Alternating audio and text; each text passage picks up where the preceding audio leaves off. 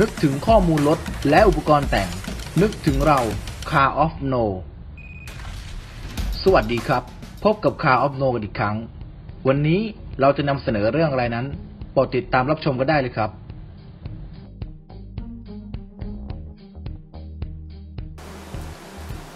เรื่องพวงมาลัยรถยนต์นั้น แน่นอนเพื่อนๆหลาย ๆ คน อาจจะมีข้อสงสัยเกี่ยวกับเรื่องพวงมาลัยรถยนต์ ที่อยู่ด้านซ้ายบ้าง ด้านขวาบ้าง แล้วทำไม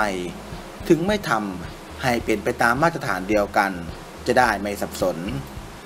ใครเป็นผู้กำหนดเรื่องพวงมาลัยรถยนต์ ว่าประเทศนี้พวงมาลัยต้องอยู่ซ้าย ประเทศนี้พวงมาลัยต้องอยู่ขวา วันนี้ข่าวออฟโนจะพาเพื่อนๆ ไปหาคำตอบเกี่ยวกับเรื่องนี้กันครับ ก่อนอื่นนั้น ต้องย้อนกลับไป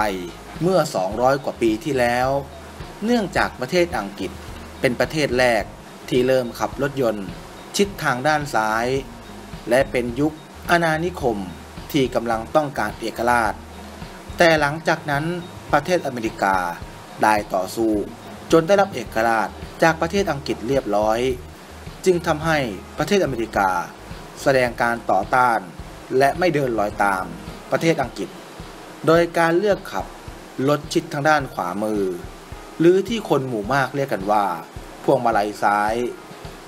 หลังจากนั้นได้ไม่นาน ประเทศอื่นๆ ก็เริ่มทำตามประเทศอเมริกามาจนถึงปัจจุบันนี้ ในรูปแบบการจราจร หรือการจราจรชิดทางด้านซ้าย และการจราจรชิดทางด้านขวา แต่ทางผู้ผลิตรถยนต์ จะเรียกว่ารถพวงมาลัยซ้าย และรถพวงมาลัยขวา ตามที่เราคุ้นเคย และเรียกกันแบบนี้ซะส่วนใหญ่ แต่ในประเทศไทย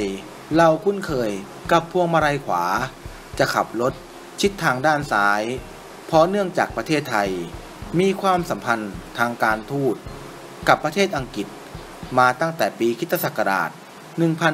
1826 หรือเมื่อปีพุทธศักราช 2369 ที่ประเทศอังกฤษใช้ประเทศไทย เป็นทางลัดการติดต่อค้าขายกับประเทศอินเดียสำหรับประเทศที่ขับรถชิดขวาได้แก่ อังกฤษ สกอตแลนด์ ไอร์แลนด์ ญี่ปุ่น อินเดีย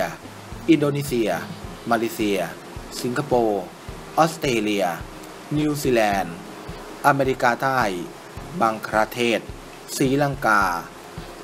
สวาซิแลนด์ ปากีสถาน เคนยา แทนซาเนีย และฮ่องกงสำหรับประเทศที่มีพวงมาลัยอยู่ด้านขวา มีจำนวนน้อยเพียงร้อยละสิบของยอดขายรถยนต์ทั่วโลก เพราะตลาดรถยนต์ขนาดใหญ่ อย่างประเทศจีน อเมริกา ยุโรป รวมไปถึงตะวันออกกลาง ส่วนใหญ่พวงมาลัยอยู่ด้านซ้าย ถ้าหากคิดจะเปลี่ยนข้างพวงมาลัย จากด้านซ้ายไปด้านขวานั้น ก็ไม่ใช่เรื่องง่าย เพราะเนื่องจากทีมวิศวกรต้องคำนวณ การถ่ายเทน้ำหนัก การเซตช่วงล่าง และอื่นๆอีกมากมาย เพื่อให้รถยนต์ ออกมามีสมรรถนะเหมือนกันมากที่สุดเท่าที่จะเป็นไปได้ อย่างไรก็ตาม ไม่ว่าคุณจะขับรถทางด้านซ้าย หรือทางด้านขวา สิ่งที่สำคัญที่ควรคำนึงถึงเป็นอันดับแรกก็คือ ความปลอดภัย การทำตามกฎจราจร มีน้ำใจให้ทางกันบ้าง เพียงเท่านี้ก็ช่วยลดความเสี่ยงในการเกิดอุบัติเหตุได้แล้วล่ะครับ